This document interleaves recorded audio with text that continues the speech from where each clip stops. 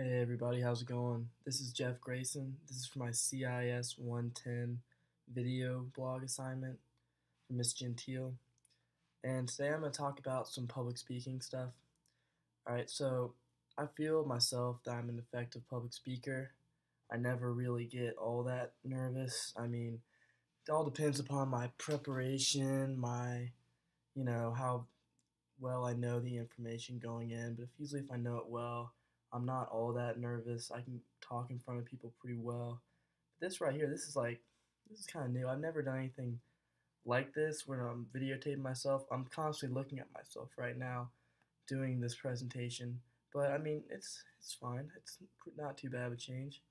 But um, I've done a lot of different types of speaking in the past. Like I've done informative, persuasive, like empathy speeches and within that like you know i've done like how to speeches like historical events informative speeches manage like i did one thing on management analysis a few years ago which is very similar to the assignment we're about to do right now. It's just like a you know um, like a like a profession like you pick a profession or a major and you go and talk about it.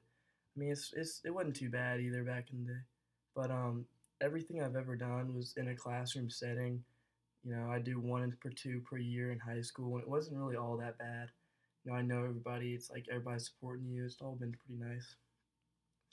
I don't know. I I just uh, took the PS was it couple minutes ago. Just finished that finished that up. Excuse me, and I scored hundred even, which I guess is a moderate level of anxiety when giving speeches, but it's on the low side.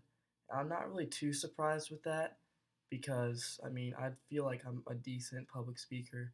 I don't have all that many problems, but then again, I'm just like everybody else to where you know I I'm nervous a little bit before, during I'm pretty nervous, but afterwards I'm fine. I don't feel like it's the end of the world or anything. I know people are like, "Oh my gosh."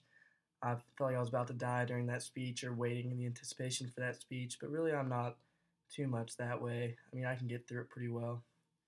But uh, the only, like a couple people have talked to me in the past about how I speak to people, like things I say to them, like I mean in my speech, like how like I present.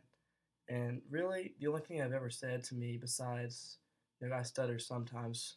That's one thing, but another thing is how I'm so like stiff when I'm presenting, and I don't really mean to do it. It's more of just a natural thing kind of who I am. Like sometimes I like I have my arms sticking out to the side, like real stiffly or something like that. Just some things like that, and then I'll have like hand gestures that they would call distracting.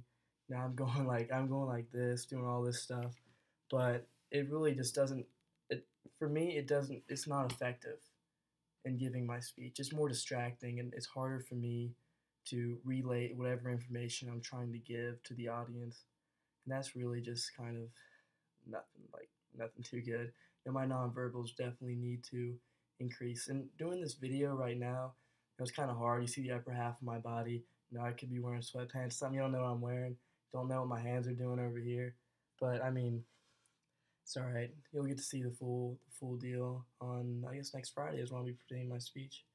But hopefully by then I can get my like some more practice, get my nonverbals down, you know, get my body language going so where next time presenting, I'm not distracting and they're more of an asset for me when I'm trying to relay this information. But anyways, that's about four minutes, I think. So I'll see y'all later.